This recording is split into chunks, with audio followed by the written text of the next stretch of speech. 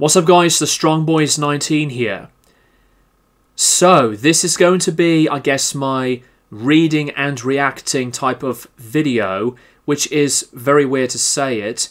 But basically, I want to give you guys my thoughts around this brand new post from the man himself, the now former drummer from Slipknot, Jay Weinberg.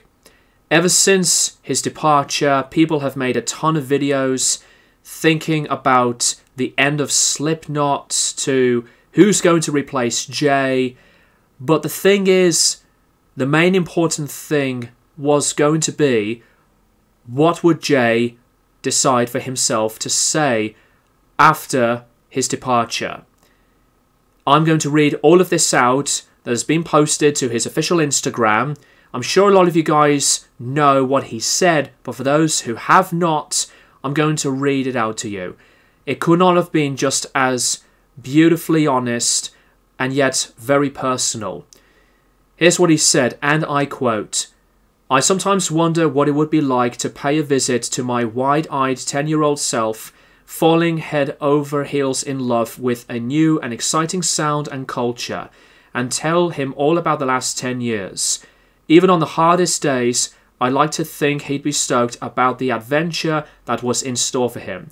I was heartbroken and blindsided to receive the phone call that I did on the morning of November 5th the news of which most of you learned shortly after. However, I've been overwhelmed by and truly grateful for the outpouring of love and support I've received from this incredible community I consider to be my creative and artistic home. This is not the ending to the journey I'd dreamt of and committed myself to seeing through not by a long shot, but despite the confusion and sadness there is something that's provided an equal amount of comfort. For many of you reading this, 10 years ago we weren't acquainted and now we are. For that, I'm thankful in ways I'll never be able to fully express.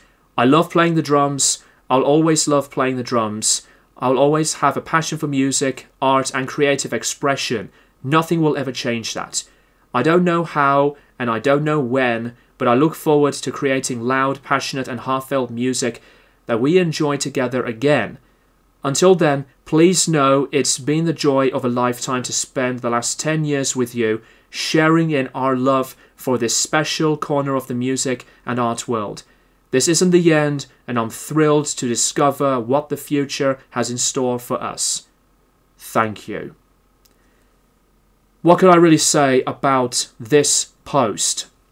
after thinking about it, I do love to share my respect and support for Jay. I know I have said my biggest amounts of support enough for Jay from his own contribution to what he did for Slipknot in the later parts of their career. But the thing is, out of all of the members from Slipknot, that has been so dedicating and so supportive. I think Jay is one of the best. Just like with the separate views and the honesty around what Chris Fehn did want to address during his time with Slipknot. And with Joey Jordison, he shared his own gratitude towards the fans. And same goes with Chris. I would say you're very welcome, Jay. Thank you for being an amazing member for Slipknot's continuation. I think the band wouldn't be around without Jay, even though the band for many people has not been the same since the passing of Paul Gray and Joey Jordison. But I think Jay was one of the best people that carried on Slipknot's reputation and their ongoing direction. You cannot change my mind on that. And for those of you who really got critical about the way Jay's drumming was in the band, let me just say this Jay did everything he wanted to do with his time in Slipknot.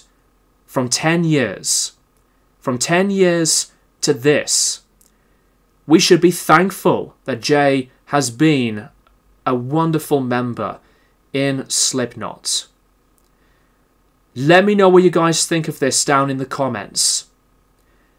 What do you really think about the post?